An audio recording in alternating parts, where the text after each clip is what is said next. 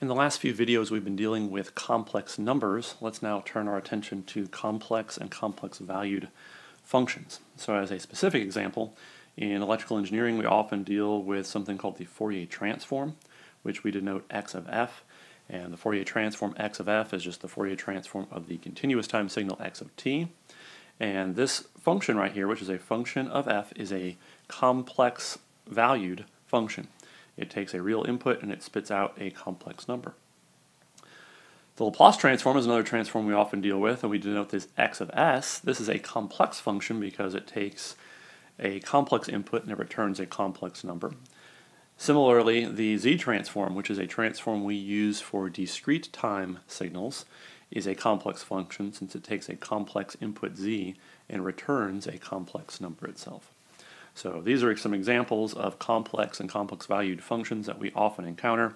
And you can probably go ahead and guess the definition, the precise definition of what we mean by a complex and complex valued function. And we're going to go ahead and define those more clearly here on the subsequent charts. But before we can define that, we need to review some other basic definitions, namely the domain and range of a function. So first let's talk about the domain of a function. The domain of a function is just the set of valid inputs for the function. So if you are allowed to query the function at that point, that point is in the domain of the function. As a very simple example, let's think about the function x of t. x of t equals cosine 2 pi ft. So it's just a, sinu a sinusoid with frequency f, cosine 2 pi ft. So the variable here is t. We are allowed to query this signal x of t at any time t that we want on the real line. I can plug in t equals 0, t equals 1, t equals 3256.4. Any value for t, I'm allowed to plug into this function and evaluate it. So the domain of this function is the entire real line. So we denote the entire real line by this kind of um, capital R. The range of the function. The range of the function is the set of valid outputs for the function. So for the example that we've been just looking at, x of t equals cosine 2 pi ft, no matter what value that I plug in for t, cosine of 2 pi ft, regardless of what the frequency is, is always going to be some number between minus 1 and 1. If, if you plot this signal, it just oscillates at frequency f, and it oscillates between values minus 1 to 1. So the range of this function is actually the interval minus 1 to 1. And this interval on minus 1 to 1 is actually a subset, so we use this right here to denote a subset of the real line. So the range of a function is just a kind of a set of all possible outputs of the function. Here's another example. Let's talk about the range of the Fourier transform of a signal. We know in general that x of f returns a complex number. So in general, its range is some set r which in general is a subset of R2. So R2 is just the complex plane. You can picture that as a two-dimensional um, plane. The horizontal axis is the real axis, and the vertical axis is the imaginary axis. So it has two dimensions, what we call R2, and that is just the complex plane. So since the output of this is always a number in the complex plane, we know that its range has to be some subset of the complex plane. It could be that for your specific Fourier transform, you can reach any point in the complex plane, and then in that case, the range of x of f would simply be R2. But in general, for some specific x of f, you might not be able to reach every single point in the complex plane. So in general, you're going to be some subset of the complex plane. So now that we have these basic definitions of domain, just the set of things that you can put into a function, and the range, the set of things that come out of a function, we can go ahead and define what we mean by complex and complex valued functions. So now that we've defined the domain and range of a function, we can go ahead and define what we mean by a complex valued function. A complex valued function is one that takes elements in R, so it has a domain of R. Its domain is some subset of R in general. It could be the entire real line, but in general it could be some subset of the real line. And then it returns a value in R2, which is the complex plane, right? R2 has two dimensions. It has a real axis and an imaginary axis, so you can think of the complex plane as R2.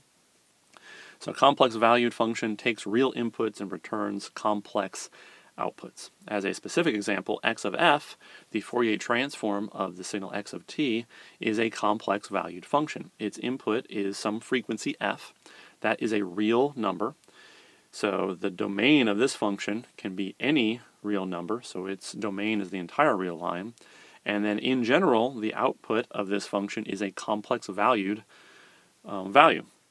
So it takes in real values, it returns complex values, so this is a complex valued function.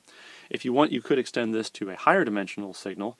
This right here is what we call kind of a one-dimensional signal because there's only one input f. You query it with one quantity, so you can talk about signals that have two dimensions. Maybe it's an image, for instance. But for most of the things that we do in electrical engineering classes at the undergraduate level anyway, one-dimensional signals are all that we uh, worry about typically. So that is a complex valued function, takes real inputs, returns complex outputs. So what is a complex function? Well, a complex function is a function that takes elements in its domain, and its domain, though, is a subset of the complex numbers. So its domain, if we call that D, is some subset of the complex plane, and then it also returns values in the complex plane. So whereas a complex valued function took elements from the reals and returned a complex number, a complex function takes elements in the complex plane and returns an element in the complex plane. As a specific example, consider the Laplace transform x of s of the continuous time signal x of t. This input variable s in general is written as sigma plus j omega. So this input to the function s is a complex number so it has its domain, some subset of the complex plane. And after you compute x of s, you in general get out a complex number. So complex numbers go in, complex numbers come out. So this is a complex function. Similarly, x of z, which is the z transform of the discrete time signal x of k, this is also a complex function. z you can think of as r times e to the j theta. It's some number in the complex plane, so there's a complex input. And again, this function, x of z, in general returns a complex number, a point in the complex plane, r2. So complex functions take complex inputs and return complex outputs. So let's go ahead and look at an example. So here is an example of a complex valued function. Here's kind of a typical Fourier transform that you might encounter when doing some work, x of f equals 2 divided by 4 plus j 2 pi f. Anywhere that I, any value that I choose for f goes right here, and then when I plug in, I end up with a complex number. So it's a complex valued function. Many of the operations that we learned for numbers I can apply to functions. One of the ones that we do most of the time when dealing with the Fourier transform is computing the magnitude of this function now. So we're dealing with the magnitude of a function as opposed to the magnitude of a number, but the way we compute that magnitude is very similar. So let's go ahead and do that. Let's compute the magnitude of x of f. Remember by definition, the magnitude of something is always equal to the square root of the original thing times its complex conjugate. So we've just used the fundamental definition of magnitude here. In this next line, I've replaced x of f with just what x of f was told in the problem, 2 divided by 4 plus j2 pi f, and then I multiply by the conjugate. So when I take the conjugate of a complex or complex valued function, I find all the j's and I turn them to the minus j just like we did before.